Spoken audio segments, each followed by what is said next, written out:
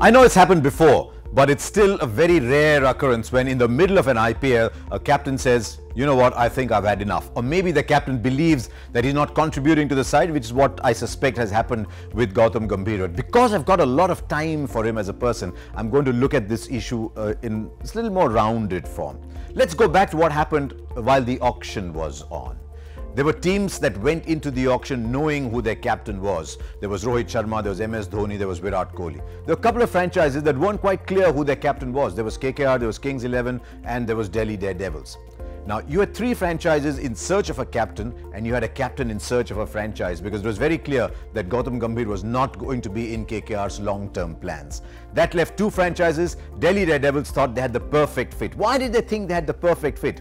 He's been one of the greats of the IPL as Gautam Gambhir. Led them for 120 odd matches, but also as a batsman, last year he had contributed 498 runs at 128. That's a magnificent IPL. So it all seemed just right. Ricky Ponting as coach, Gautam Gambhir as captain, but a year is a long time in your career when you've moved past a certain age.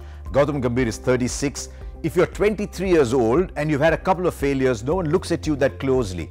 When you're 36, with every failure, the cameras are focused on you. When Gautam Gambhir got out with that pull shot that only went as far as mid-wicket, was he getting late on the shot?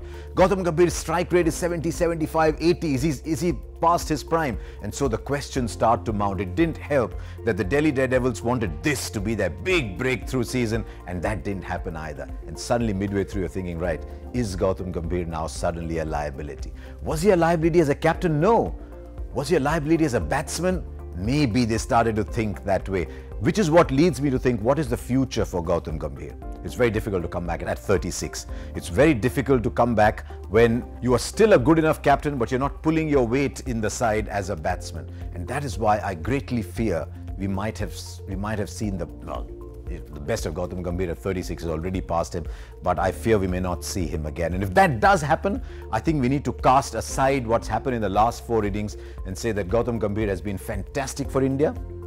2007, 2011, all those hundreds in New Zealand. He was fantastic. I asked Sehwag yesterday and he said he enjoyed batting with Gautam Gambhir.